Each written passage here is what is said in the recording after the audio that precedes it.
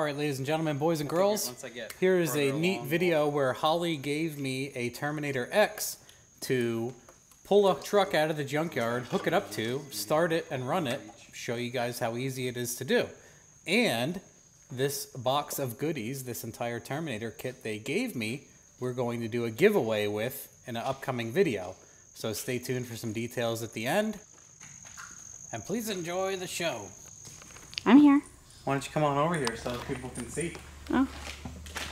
Well, my kit that Keith sent me has the square style plug, like the old MSD, whatever you want to call it, plug, and this had the stock injectors on it. And Holley sells a fuel injector harness with that plug on it, but I couldn't get them in time.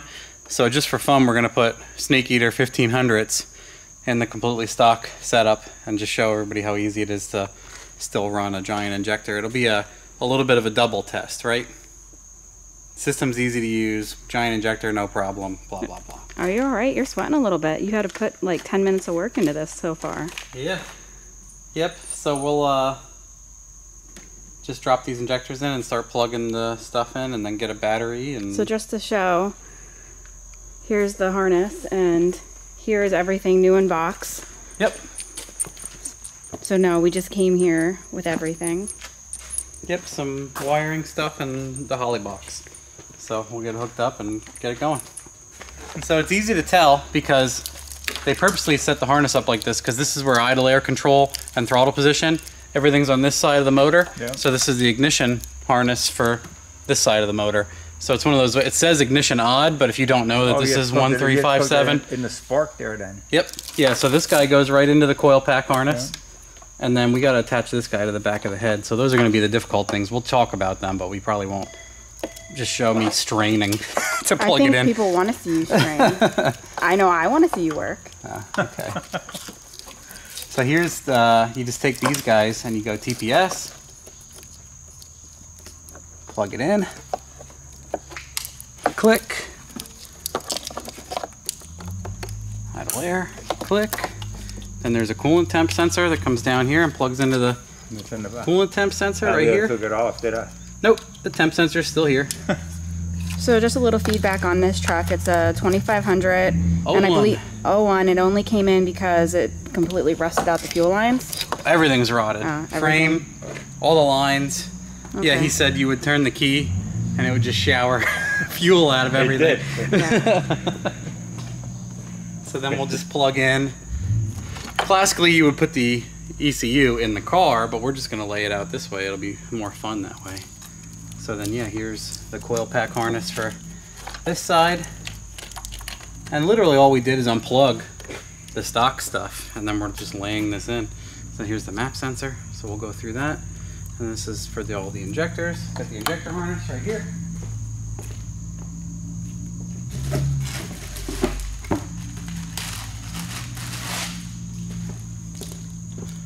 So this is what I was talking about, how they have a square plug. Oh yeah, you just push on them. So what we hole. did uh, is we just put, I had Snake Eater 1500s laying around. Uh-huh. So that's what we tossed in. And then, where are the numbers at? Five, seven. So these go on that side. And these are, so two is in the front, two, four,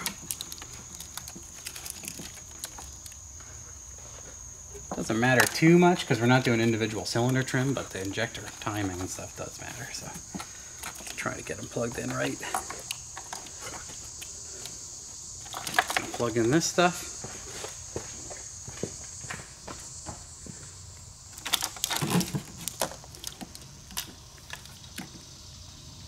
One and three. So one is in the front. Three. Five. Yep. Five and seven. Yeah.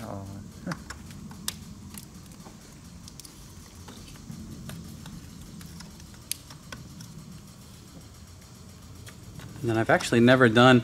Holley has a thing where they have a built-in map sensor on the ECU. You don't even need to use the one in the car. So I'm going to try to use that this time. I haven't done it yet. I always use like the three bar because I do turbo stuff. That's for the O2 sensor. This is for the fuel pump and stuff. This is the extra stuff. That's what my thing plugs into. My Flex and Alt harness plugs into that guy. Pretty cool new thing on the harnesses. All right, so that's all done.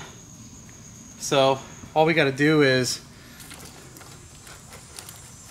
get the rest of this stuff plugged in. So that's for like fuel, manifold temp sensor we don't have. We don't even need to use it, to be honest. Cam position, we need to plug that in. Cam and crank, we need to plug in. Oil pressure, I wonder if this one has the right, some of the year trucks have this plug for oil pressure. Some of them do. So we'll see if this truck does. Classically, it's a much wider, like a different plug, but Holley puts the same plug for all their sensors. Uh, So we'll uh, we'll dig that up, and then uh, we'll just try to get this. I'm gonna rip a connector off. We got to get the uh, the real difficult one is going to be the cam position sensor behind the. I was thinking about actually pulling the intake off to get it, but I think I can just reach it, and then the crank. Like I said, we'll probably have to put the truck up on the lift a little bit to no, we can get that up on here. plug that guy in. Hold on. Wire stuck.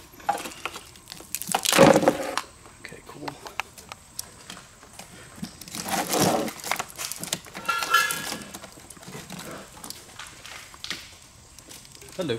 Matt, how you doing? Good, how are you? Pretty good, thanks. Okay. Alright. Don't trip. I'm not gonna trip. Right here. These Well, were I'm just going. o- I'm going over the whole thing So they put a because it's all dark down nice here. rubber. Up in the frame. Yeah, some nice stuff. Some. Yeah, this truck doesn't have a rust problem. at No, all. not at all. That U-bolt is just like paper. It works.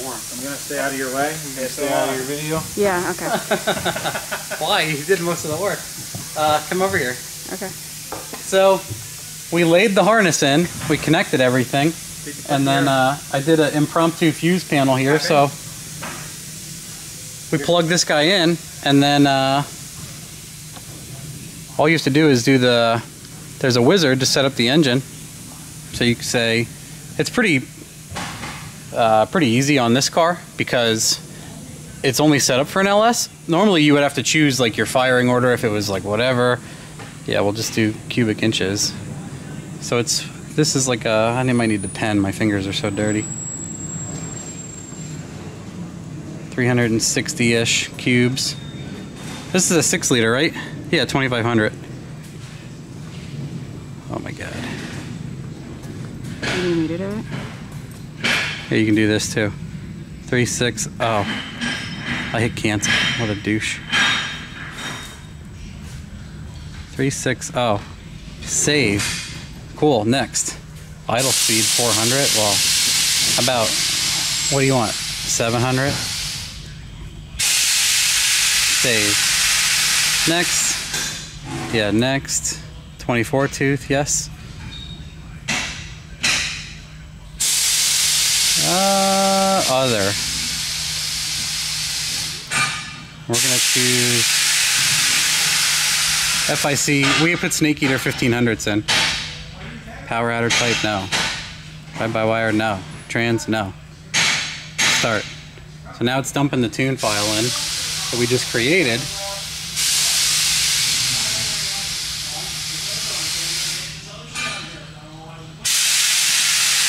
And then we'll do this quick too.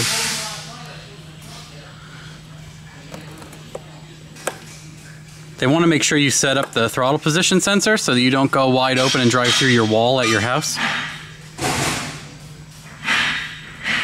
Oh, okay. All right. Then, uh, I think I don't have the map plugged in. I have to use, uh, we'll plug that in real quick. This guy, I just need a vacuum line to hook up to this. We just gotta hook that up quick if you want to show. so, uh, we didn't have time to wire this quick, so we're just gonna Milwaukee battery it. So that's running the fuel pump. Now we'll go and mess it up for you. All right, we'll turn it on. Oh yeah, they're all obsessed with that. All right, so here we go. Coolant, idle air position, battery voltage. It's in gear. Yep. it's in gear. I'm glad it's still Did, did you hook? Did you hook it up? Try it again. Milwaukee fuel pump.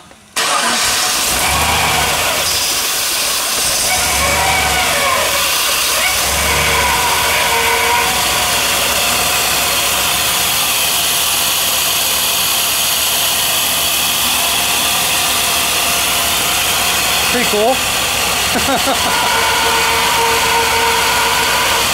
That's funny, that's the whole fuse panel for the car now. Yep. That's how easy it is.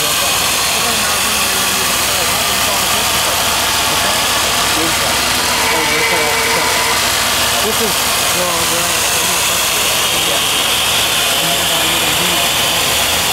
seven, ten, fourteen. So then every computer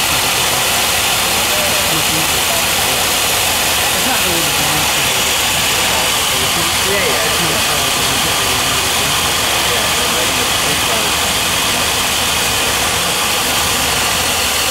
Just a little bit lean from the uh,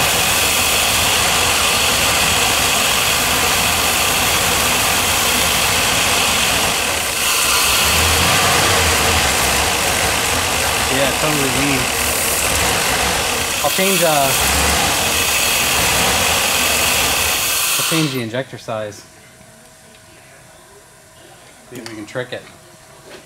Now that's this isn't the right injector data. It's literally just I chose FIC 1650s Right. because they're close to the size of Yeah. the snake eaters and it still runs. It's pretty crazy, right? So if we go to tuning, fuel, well, let's go. Where is it? Is it under a tuning, system, fuel setup? It isn't bad yet. 152 pounds. Oh, well, it's at a higher fuel pressure too. We're at 60 pounds. So we'll save that. Yep. And then we'll drop the to. Now we'll leave that go. We'll just set the reset the base and see what it does. Hit save. Okay, hit home. We'll power cycle it. And we'll start it again. Charlie, your foot's on four. Do, do, do, do. Monitor, dash three.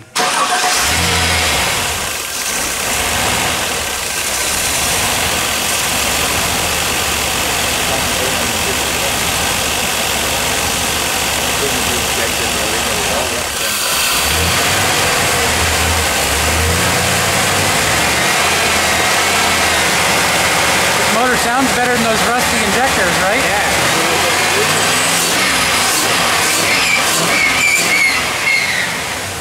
That's a that's that's a whole nother level of cuckoo boy. Yeah, it's whistling bad to the Belt or something. everything's rubbing. Or the power steering or the oil cooler's fucked up. it sounds like your power steering pump. Yep.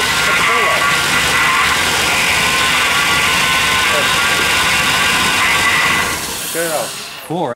All right, ladies and gentlemen, boys and girls, I hope you liked this video. It was an idea that I had kicked back and forth between Holley and I. We just wanted to take a, a regular vehicle of some sort and show you how easy it is to just throw this. I we literally took this this truck was sitting in Collis Truck Parts junkyard and I'm like, "Hey, do you have a running truck?" He's like, "I got a 2500 that's completely rotted to nothing, but it did run."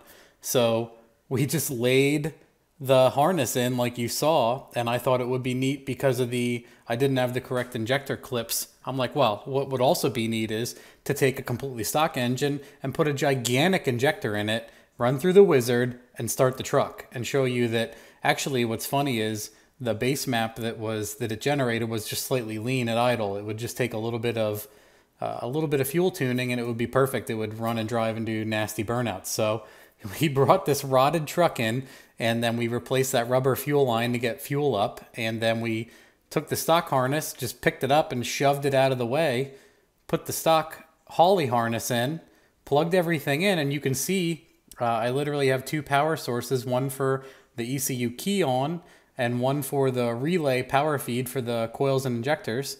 Uh, we plugged everything in, we ran through the wizard, and we started the truck. And it ran. And it has 150 pound injectors in it. And it's a completely stock junkyard six liter. And it actually ran awful when we fired it on the stock computer. And it's because the injectors were completely filled with rust. As you can see, the we had to replace the fuel lines and everything because everything was completely rotted. So yeah, it's funny to see that it starts, runs everything uh, just off the handheld, no laptop, no nothing. Internal map sensor, everything is working the way Holley intended. And the really cool thing about this, the whole secret to the end of this video is we're going to give away this entire setup that we used to show on the junkyard engine.